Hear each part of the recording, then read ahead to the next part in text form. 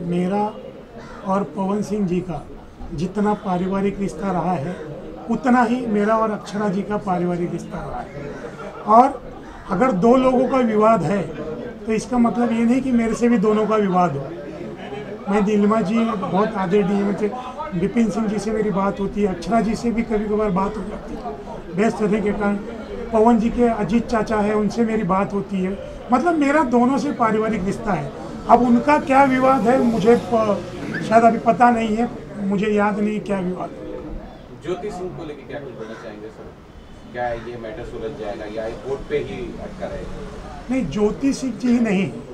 होता ये है कि देखिए किसी भी परिवार का आज कोर्ट में सैकड़ों लाखों मामले करोड़ों डाइवर्स के लिए हैं तो मैं उन सारे परिवारों को पवन सिंह जी और ज्योति सिंह जी तो समझ लीजिए आपने वो पूछ लिया, लेकिन उन सारे परिवारों को मैं हाथ जोड़ के विनती करूँगा कि मेरे बहनों, विवाह एक बार होता है बार बार नहीं होता है।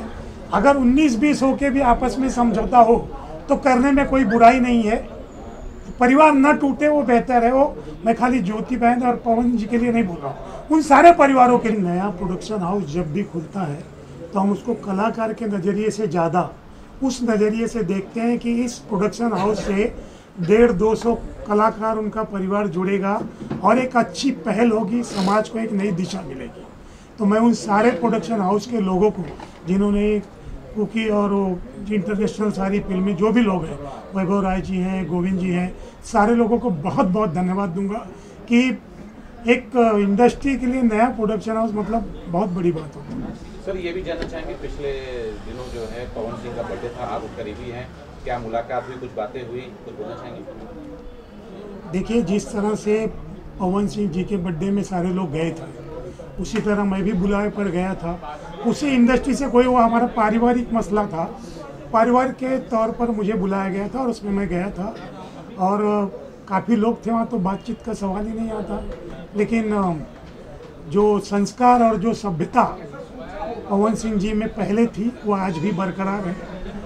उन्होंने अपने से बड़ों का आदर सम्मान नहीं छोड़ा है।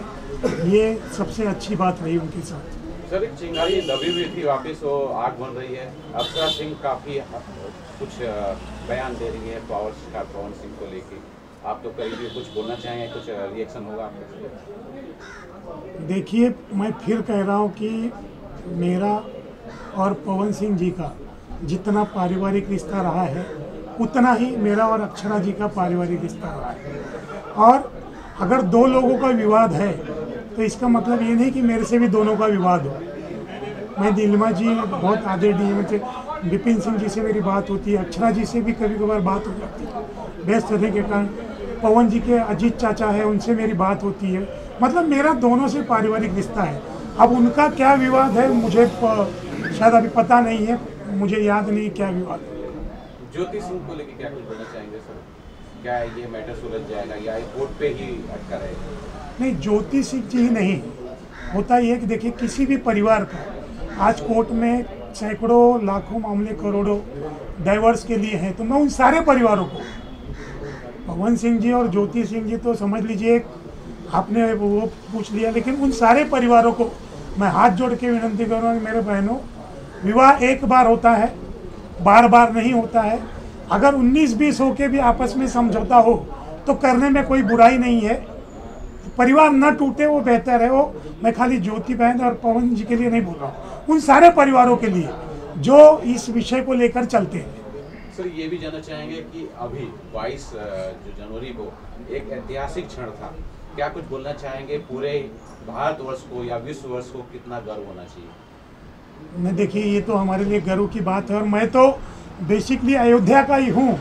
तो मेरे लिए तो बहुत बड़े गर्व की बात है कि भगवान श्री राम जो हमारे वंशज रहे हैं, हम, हमारे वंशज हैं तो मुझे लगता है कि मुझसे ज़्यादा गर्व।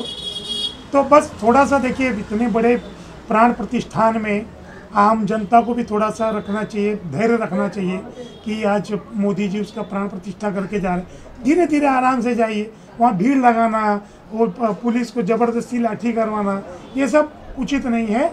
भगवान श्री राम जी सबके हैं, रोम रोम में है, कड़कड़ में है।